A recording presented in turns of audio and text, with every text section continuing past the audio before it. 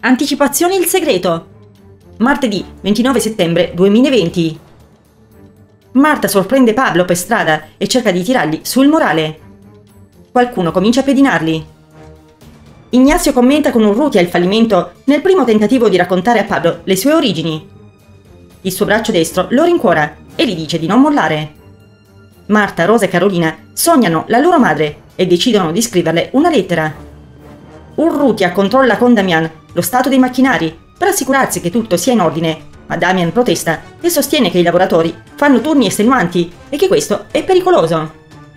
Nella lettera alla madre Rosa le dice che tra tre mesi si sposerà. Poi le parla della sua futura suocera e di quanto si comporti bene con lei. Carolina e Pablo si incontrano in piazza e condividono la loro angoscia. Entrambi sanno che devono trattarsi come fratelli e confidano nel valore del tempo. Mattias accusa Alicia di essere spericolata, teme che voglia compiere di nuovo un'azione rivoluzionaria, ma lei gli promette che non lo farà. Inoltre, lavorando in miniera, nessuno sospetterà più di loro.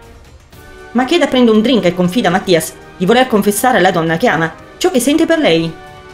Il locandiere gli consiglia di non mollare e di agire. Maurizio dice a Marcela che la vede strana e si offre di aiutarla. La marchesa fa pressioni sul figlio Adolfo. Se non ama Rosa, perché sposarla?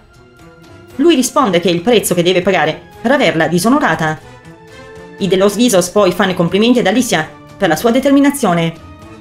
Francisca fa delle domande a Isabel che però non le confessa i motivi del suo viaggio.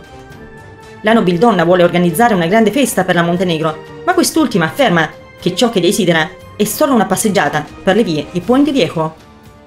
E questo è il modo giusto per far capire ai suoi concittadini di essere ritornata